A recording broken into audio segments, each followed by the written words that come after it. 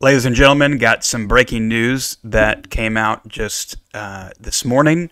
Secret Service Director Cheatle has resigned.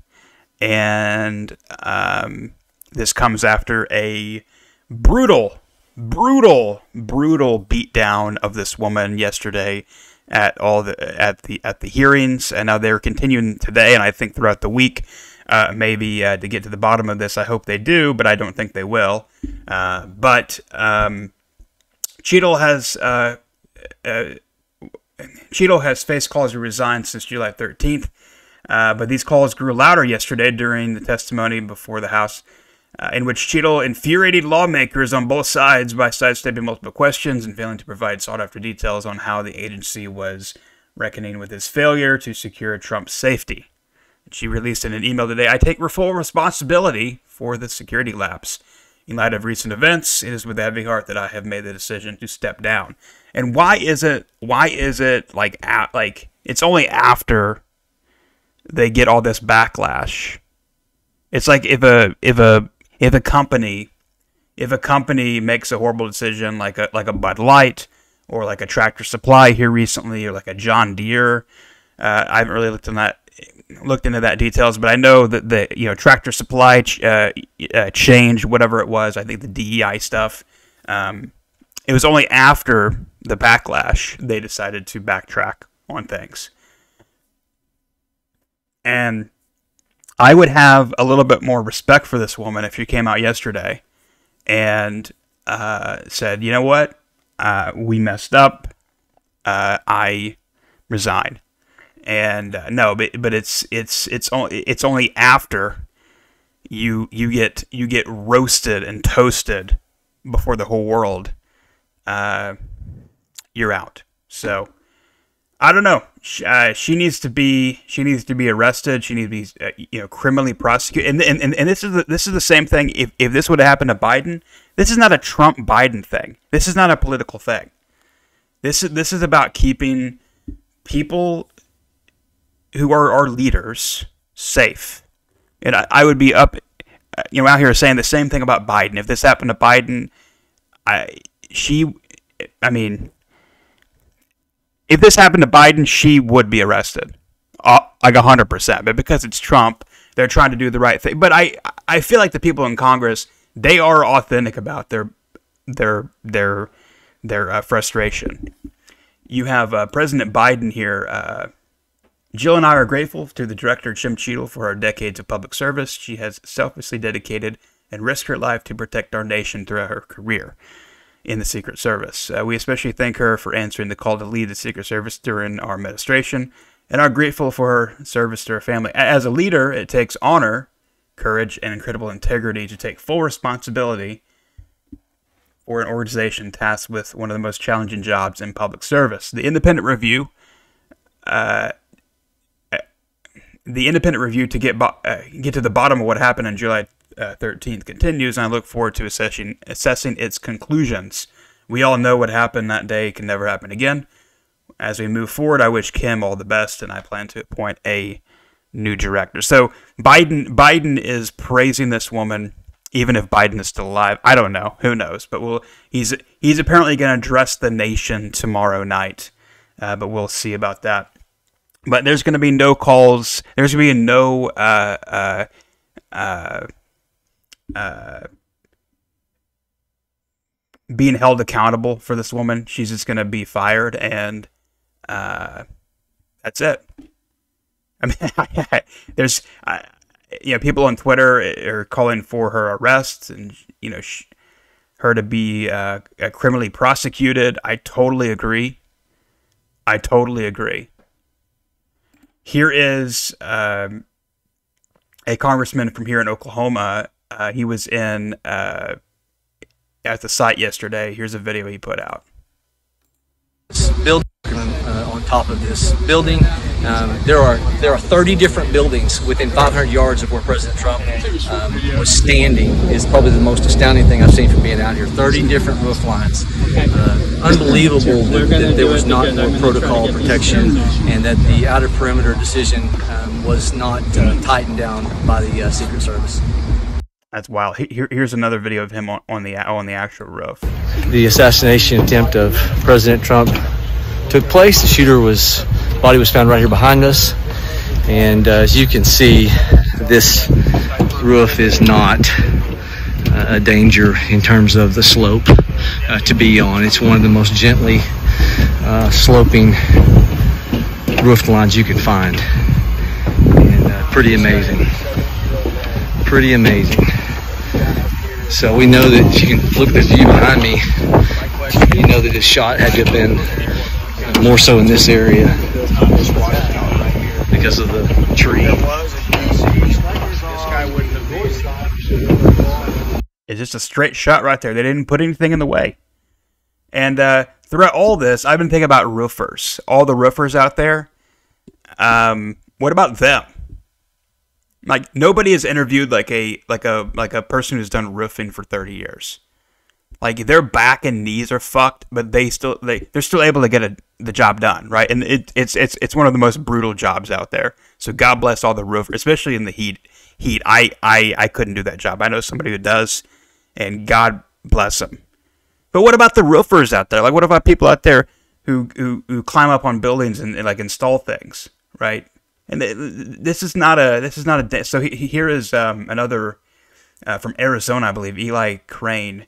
Uh, here's the vir- uh, video that went more viral yesterday. As I'm up here on the building where the uh, supposed sniper took a shot, it's not that steep at all. Just had a 70 year old man back here climb up on the uh, on the roof easily. See that water tower behind me? Had Secret Service I thought the uh, I thought this guy by, right here was Joe Biden. I was like, what the hell? Because he he's always wearing the blue hat, but it's uh, I know it's not, but it kind of threw me off a little bit. uh, on the roof, easily see that water tower behind me. Had Secret Service or anybody had sniper teams up there, this guy wouldn't have made it. Um, five feet up this roof, um, he would have been taken out. Behind me, you see the windows that uh, Secret Service was supposedly in the second floor of this building behind. Makes you wonder. And here, here he is out. Uh, he filmed some footage out the window.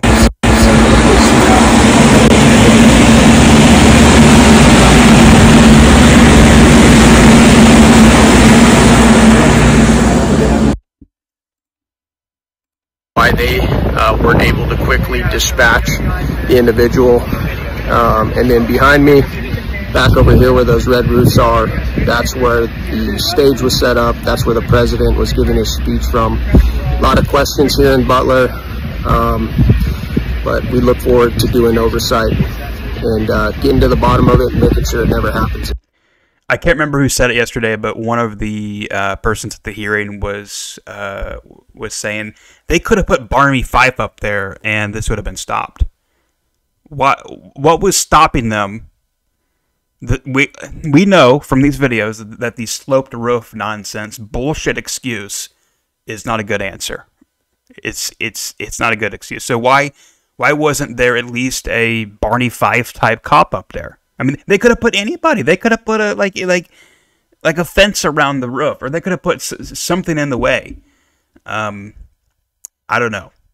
It, it's just it's just infuriating. But I hope that this hearing goes somewhere. I hope they treat this like a January 6th, where where where people who who who uh, fucked up, um, or I hope they go after uh, the people involved like they went off the, after the J6ers. That's not the best way to put it.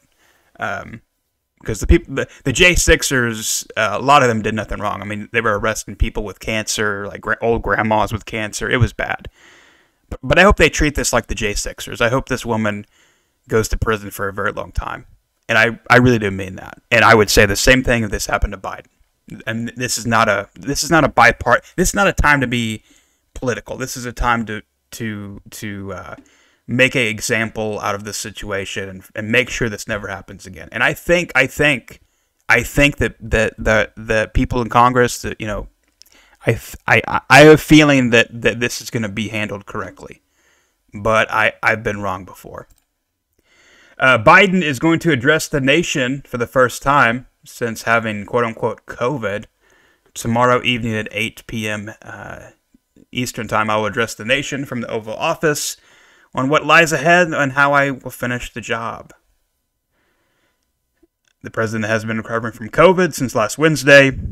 The last time uh, we saw him was in Las Vegas, I believe, and there was some speculation that uh, he uh, had a medical emergency in Las Vegas and he passed away. Uh, I I don't know about that. We'll just have to see. Um, is this going to be like a video call? Is this going to be like a FaceTime thing? I don't know. Who knows? What do you guys think? Is it is it going to be an AI? Is it going to be a recording? Or I mean, maybe we don't know. Maybe it may be a recording from uh, months ago.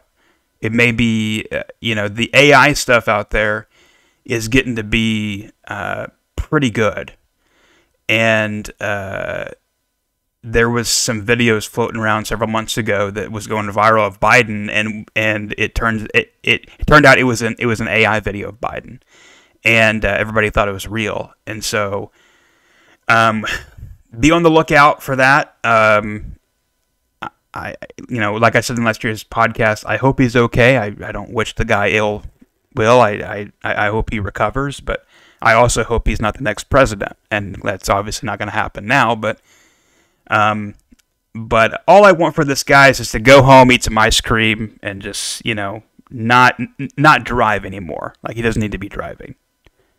Literally, doesn't need to be driving, but also leading the nation. So um, it's going to be interesting to see uh, what statement they put out or what video they put out. Um, I, I I am almost positive it's not going to be because of COVID, we're going to be, you know, we're going to take precautions and we're going to have this video call. So I, I have a feeling it's going to be like a video pre-recording thing that's going to be released on Twitter or something, probably. And um, I, I don't know. But what do you guys think? Where where is Joe? We'll find out tomorrow night. Anyway, that is the update. Uh, thank you so much for watching, and be sure to uh, subscribe for more. Also, check out the my other channel, Okie Patriot 76 Radio. I'm going to be posting some music over there today. Check out the New Music Friday uh, playlist that I put together. I put uh, that together every single Friday, and I find um, artists out there that are independent, that are doing it right, and uh, you know, regardless of political opinion, I, I try not to. I try not to uh, you know cover as much politics over there. But if there's a song that is political, like uh, Brian Kelly, he uh, of, of uh, Florida Georgia Line, he is he's putting out a song that I may post, uh, "Make America Great Again," and he is going hardcore against the left on that song. Apparently, I, of of what I heard. So uh, that's kind of a passion of mine, and that's that's what I love. Um, besides politics, I I've I have a huge passion for music, and so I started that channel a couple years ago, and it has grown so so much. And I appreciate everybody out there. And if you're an artist out there watching, go to that channel, and there's a number you can submit the submit your music and um, and, and all that kind of stuff. But, but but mainly, I just find music and I just post it. And most of the time, people are people are appreciative of uh, free promotion, and I don't I don't make a I don't make a dime from from from any of that. It's just a passion thing. So go check that out if you're into that. And uh, thank you until next time, and have a great day.